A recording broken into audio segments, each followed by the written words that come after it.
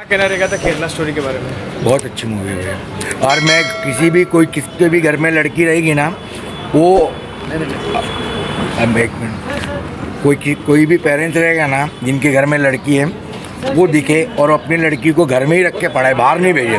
जिस तरीके से दिखाया गया है एक सेंसिटिव टॉपिक पे फ़िल्म बेस है। जिस तरीके से प्रदर्शन किया है क्या कितने हद तक उस सारी चीज़ों को जस्टिस दे पाई है? ये पिक्चर भाई मैं जिसको लड़, मेरे पास लड़की जिनकी लड़की है ना जिनके घर में लड़की वो माँ बाप आके पहले देखे। और कोई बच्ची को पढ़ाई कराना तो अपने घर में रख के पढ़ाई कराए बाहर ना भेजे। जो आदा शर्मा ने काम किया है as a main lead actor उन्होंने किस तरीके से काम किया? पिक्चर बहुत अच्छी है भाई मैं तो बोलूँगा कि ये फैमिली है। वो आके देखे जिनको लड़की है वो तो आके ज़रूर देखे। केरला स्टोरी के बारे में? बहुत ही बढ़िया मूवी है बट इतना है कि अभी हिंदू लड़कियों को और भी मतलब जानना चाहिए कि ये सब बहुत बड़ा षडयंत्र हो रहा है। और और भी मतलब अच्छी फ़िल्में आए जो अपने इंडिया को स्पिरिट की तरह अच्छी तरह जिस तरीके से गए साल एक द कश्मीर फाइल्स फ़िल्म आई थी और ये साल द केरला फाइल्स या फिर स्टोरी बोल सकते हैं। अभी देखने जाए। जिस तरीके से उस वक्त माहौल हो चुका था क्या लगता है वही माहौल फिर से दोहराया जाएगा? माहौल तो ऐसा लग ही रहा है कि इनकेस हो सकता है ऐसा। उनके काम के बारे में क्या कहना रहेगा आपका? काम तो बहुत अच्छा किया है उनने। उनकी एक्टिंग अच्छी थी हाँ बहुत ही अच्छी।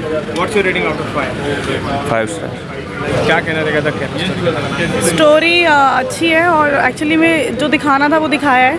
और बहुत सारे लोगों को पता नहीं होता ना कैसे ये लोग काम करते हैं। मतलब अ, वो पूरा उसमें दिखाया गया है तो वो बहुत ही अच्छा है और इवन इस पर काम भी करना चाहिए। मतलब जिस तरह से हमने फ़िल्म में देखा कि पुलिस भी उस पर काम नहीं कर रही है, सुन नहीं रही थी। तो ये एक्चुअली कहानी है, ताकि लोगों तक तो पहुँचे ये बात कि कैसे होता है। और एक्चुअली यंगस्टर के लिए तो बहुत ही ज़्यादा इंपॉर्टेंट है, क्योंकि उनको पता लगना चाहिए कि कभी भी किसी भी चीज़ में घुसना नहीं है। बेशक आप किसी भी रिलीजन को नहीं मानते हो बट किसी भी रिलीजन को ओवर मान के कुछ भी गलत मत करो। तो यंगस्टर के लिए एक सबक है खासकर उन लोगों के लिए जो बहुत ज़्यादा इस्लामिक या किसी, मैं मैं मतलब किसी धर्म के लिए कुछ गलत नहीं है बट कुछ लोग जो धर्म का इस्तेमाल गलत तरीके से कर रहे हैं उनके लिए गलत है और अभी भी अगर ऐसा वहाँ पे हो रहा है तो मुझे लगता है कि गवर्नमेंट को आउट ऑफ़ द वे जाके भी काम करना चाहिए उस पर तो ये बहुत ज़रूरी है। जिस तरीके से गए साल कश्मीर फाइल्स फ़िल्म आई थी ये टाइम केरला फाइल्स के ऊपर बेस्ड फ़िल्म नहीं एक्चुअली ये उस वक्त जो माहौल हुआ था वही माहौल एक्चुअली देखा जाए तो थिएटर पूरा फुल था और देखना भी चाहिए क्योंकि हमें बहुत सारी चीज़ें नहीं पता। जैसे मुझे तो कभी केरला के बारे में ये सब भी होता ही नहीं हम तो केरला की खूबसूरती जानते थे हमेशा। तो अब पता चल रहा है कि ये सब भी मतलब फ़िल्म में अगर दिखाया गया है तो वो बहुत बहुत ही अनएक्सपेक्टेड था। और एक्चुअली में मतलब मुझे लगता है कि इस पर काम होना चाहिए। आदा शर्मा के बारे में क्या ख्याल है? बहुत अच्छा काम किया। टू गुड क्या लोगों को पसंद आएगी फ़िल्म फ़िल्म लोगों को बहुत ही ज़्यादा पसंद आएगी और क्योंकि उसमें काम करा भी ऐसा है कि पसंद आनी चाहिए।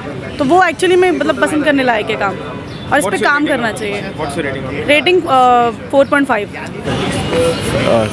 the Kerala Story film बहुत ही ज़्यादा अच्छी लगी मुझे। बहुत सुपर स्टोरी है उसकी। और, और acting wise performance wise super brilliant जिस तरीके से एक सेंसिटिव सब्जेक्ट पे बेस्ड फ़िल्म है कितने हद तक वो सारी चीज़ों को जस्टिस दे पाई है फ़िल्म के दौरान? देखो जितना वो दिखा सकते हैं फ़िल्म के डायरेक्टर प्रोड्यूसर उन्होंने उतना कोशिश की है। कुछ कोई लिमिटेशन होती है कुछ जो चीज़ नहीं दिखा सकते वो नहीं दिखाई। बट और भी कुछ दिखा सकते थे बट मैं वही बता रहा हूँ कि हर चीज़ नहीं दिखा सकती। एक गए साल कश्मीर फाइल्स फ़िल्म आई थी ये time Kerala files type film आई है। क्या लगता है जो उस वक्त माहौल क्रिएट हो चुका था वही माहौल फिर से दोहराया जा सकता है या हो भी सकता है। मैं तो बोलना चाहूँगा कि ज़्यादा से ज़्यादा लोग आएँ और फ़िल्म को देखें सपोर्ट करें। आदा शर्मा के काम के बारे में क्या? Super super what's your rating out of five five five the Kerala Story बहुत अच्छी मूवी है अमेजिंग और मुझे लगता है कि जो डायरेक्शन स्क्रीन प्ले, स्टोरी और हर एक क्षेत्र में ज़बरदस्त काम किया। है बैकग्राउंड म्यूज़िक बहुत ही अच्छी थी। और सबसे अच्छी बात यह है कि जो हम देखते हैं कन्वर्जन को लेकर, जिस बारीकी से लोग काम करते हैं, उस पर बहुत बारीकी से उन्होंने फोकस किया है। और उस चीज़ को मुझे लगता है कि देखना चाहिए लोगों को, जागरूकता आएगी। और आई थिंक मुझे बिपुल शाह की, उनकी टीम को पूरा बहुत बहुत बधाई देना चाहिए।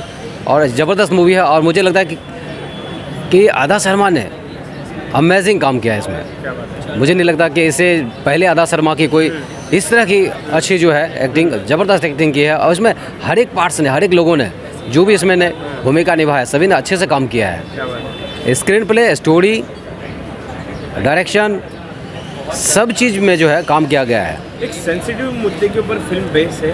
कितने हद तक वो जस्टिस दे पाई है उसके बारे में क्या ख्याल है? देखिए हम जितना लोग डर रहे थे घबरा रहे थे कि कहीं अ, उस चीज़ को जस्टिफाई कर पाएगा कि नहीं कर पाएगा? मुझे लगता है कि मैंने अ, मैंने ट्विटर पे भी इंटरवल के दौरान ही मैंने ट्विटर पे शेयर किया है कि मैंने अभी तक ट्विटर पर जो देखा है इंटरवल इंटरवल तक वो मूवी बहुत अच्छी है। आई थिंक मुझे लगता है इंटरवल के बाद भी उसको पकड़ के रखा हुआ है उस चीज़ को और कहीं इधर उधर नहीं भटका है।